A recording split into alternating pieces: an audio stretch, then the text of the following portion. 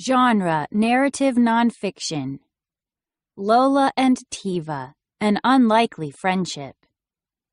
Told by Juliana, Isabella, and Craig Hatkoff. Photos by Peter Greste. Essential question How do we care for animals? Read about a girl who cares for her pet rhino. There is a very special place in Kenya, Africa called the Lewa Wildlife Conservancy. Lewa is a large place where animals roam free and people called rangers watch over them. A young girl named Tiva lived there with her family. Her father worked for Lewa. Everyone at Lewa knew that Tiva had always wanted a puppy, but puppies were not allowed. Instead, the people at Lewa found Tiva a different kind of friend, a young black rhino named Lola. Lola seemed to work just as well as a puppy for Tiva. Lola and Tiva became the best of friends. This is their true story. Lola was born at Lewa to a mother that was blind. For a couple of days, Lola drank her mother's milk for food and stayed close by.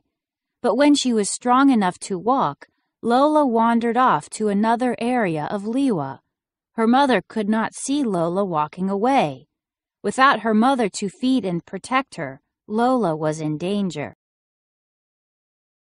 Animals roam free at Lewa. Lola needed food and could become a meal for a lion or another hungry animal. She could not find her mother, and her blind mother could not find her. The rangers who worked at Lewa searched for Lola. When they found her, they brought her to a safe place in Lewa that was near Tiva's house. There, Lola would be out of danger. Tiva was excited when Lola arrived. She wanted to take care of Lola. Like any baby, Lola needed many things. Most of all, Lola was hungry and needed milk. Tiva learned to feed Lola. Lola drank a bottle five times a day. Each time, she drank over a gallon. Tiva loved Lola. Lola was a lot like a big puppy. She tried to climb things. She licked things. She smelled things. Lola begged at the dinner table. Like most pets, Lola never posed when Tiva tried to take pictures. She wanted to nap. But Lola did like for Tiva to pet her between the ears.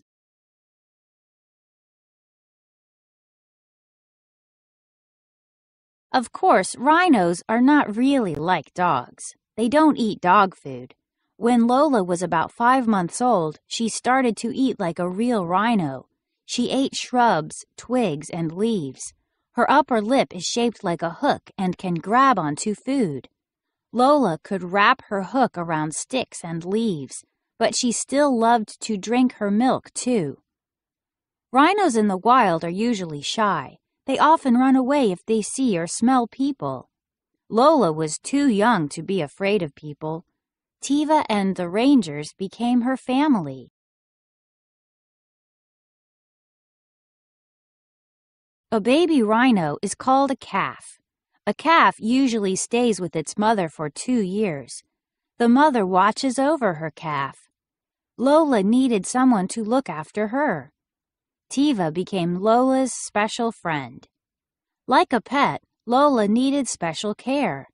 Tiva helped pick bugs off Lola's body. The bugs could make Lola sick. In the wild, birds eat the bugs off a rhino's skin. But birds would not do that for Lola. There were too many people around. Lola also needed to take baths, mud baths. When a rhino rolls in the mud, it is called wallowing. It is an important part of being a rhino. The mud protects the rhino's skin from the sun, like sunscreen. Once the mud dries, it also keeps bugs from biting.